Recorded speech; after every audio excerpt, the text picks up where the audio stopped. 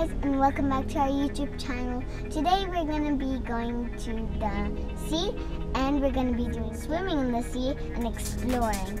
We're going to be finding new shells and we're going to have so much fun. Let's move on.